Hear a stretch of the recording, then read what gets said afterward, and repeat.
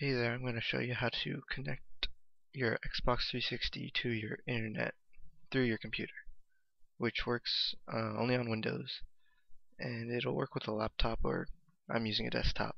But you got to go to the control panel and then go to network and internet, and then the network and sharing center. And then on the left you can see manage network connections and you click that. So it should show the Ethernet cable which should be plugged into your computer and your Xbox, and then your wireless. And so I'm going to turn on my Xbox now.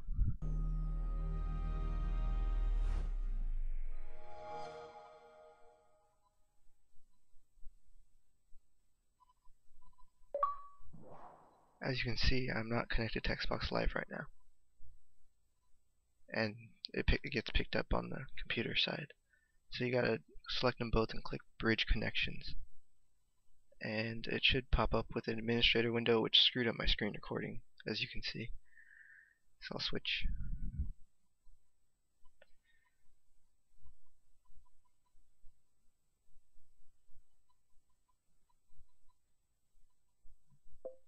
So now I should be able to connect, although sometimes it takes a few tries, as you'll see right now.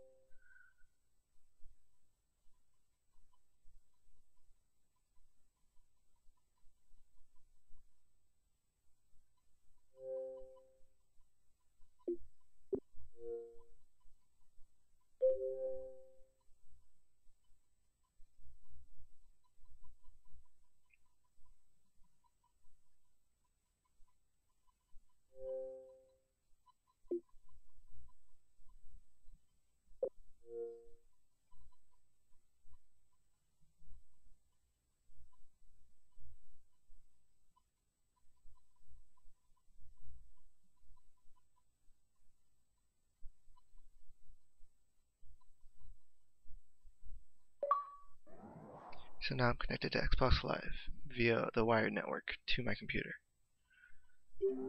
So there you have it. Thanks for watching.